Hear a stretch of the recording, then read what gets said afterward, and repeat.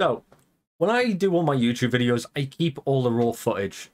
Uh, mostly down to the fact that I sometimes pick bits from like other videos and use it in the newer videos and I like to keep the footage just so I can go back and see where I went wrong, what I could have done better. But, you know, you're talking each video is anywhere between 10 gig up to 50 gig depending on the size of the video, the length and all that good stuff. And where do I keep them? Well, ironically, I keep them on two and a half inch drives, and I get them on Amazon, and they're about you know between twenty and fifty pound each, about round about between one and two terabytes. So it all really depends. You know, I've got some there. I've got a 10 terabyte drive that I've recently just filled up. I've now just put in a new one. I think it's one of the Seagate volumes. I'm not too sure. Um, and that's what I use. But the problem with them is they're as what I call naked hard drives. They don't have covers because you always, you know, if you get external hard drives with covers, you end up paying like an extra 30, 40, 50 pound for a cover. And that is it, just a cover. So I buy the naked hard drives is what I call them. And when I'm on the go, I found that sometimes they tend to get a little bit knocked around, scratched, and the last thing I really want is all of that all that footage just disappearing. So I got one of these.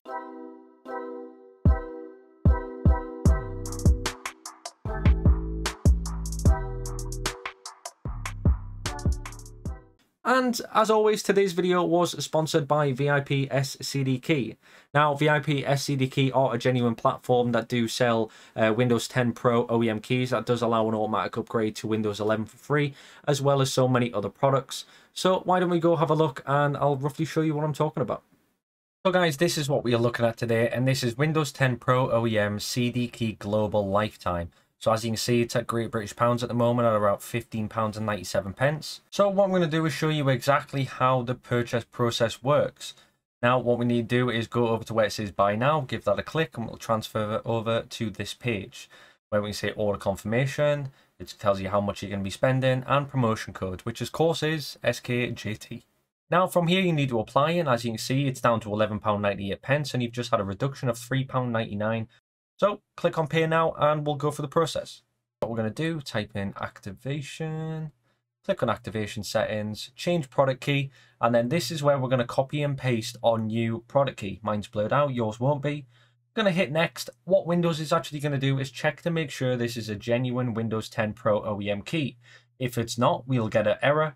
But if it is a genuine key, Windows will allow us to activate it. And there you go. You have just upgraded to Windows 10 Pro for less than £15.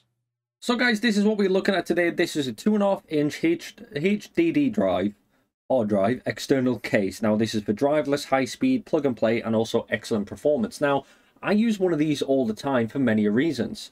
Now, what we're going to do is go into the process of unboxing it, and I'm going to roughly show you how to get it installed and all that good stuff. I'm also going to show you a different device you can use if you don't want to spend that little extra bit of money to actually get yourself one of these. So just on the sides here, we can see there is a few things, but it's also covered up by a sticker, which isn't very helpful. But this is what we're looking at.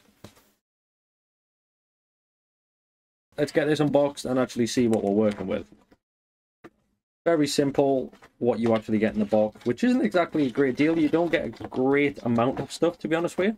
You don't really need it. There's not really a massive need for this amount.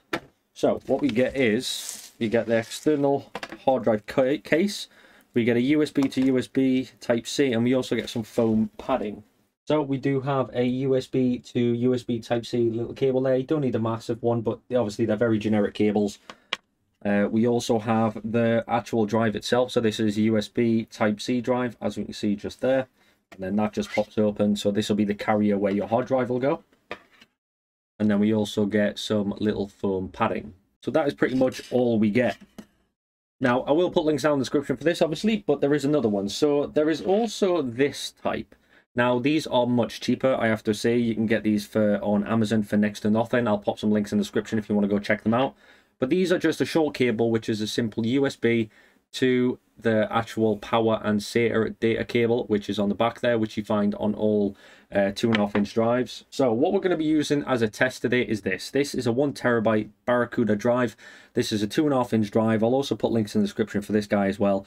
But this seamlessly is how it is. So I use these drives all the time for all my, my raw footage for my YouTube videos. So I know where they are. I know where they're stored. I have loads of these. And they're just quite convenient for myself. A lot of people buy, you know, huge server units and toasters. I have them as well. Just I find these are a little bit easier for transferring data.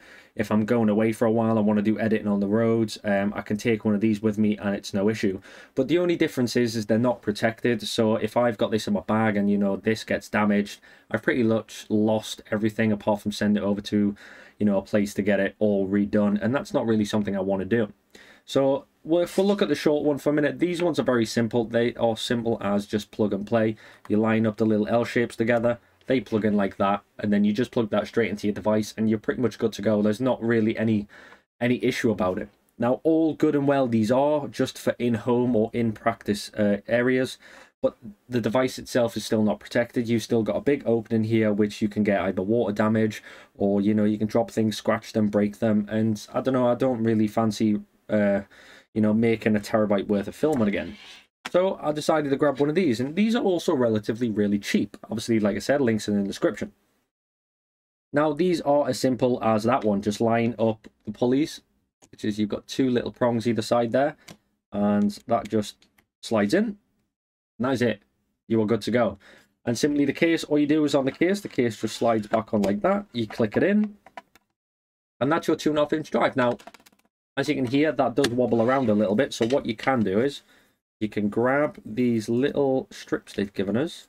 And what we're going to do is I'm going to pop one on this side. And I'm going to pop another one. It's quite convenient that they give you three. I'm only going to use two though, because I don't really need to use all three. And I'm going to pop that one there. What this basically stops is the plastic rattling off the hard drive. So pop that back on. Nothing major though, so that's pretty cool. But there we go, there we have it. So as we can see on the side there, we have USB 3.1, little LED indicator. So when I do get this plugged in, that is going to indicate that it's running. And that is pretty much it. So this is just a little video just showing you roughly of how I actually keep my drives protected, especially when I'm using them on the go. It really is an important thing to actually make sure you keep these safe and sound, especially if you've got important information on.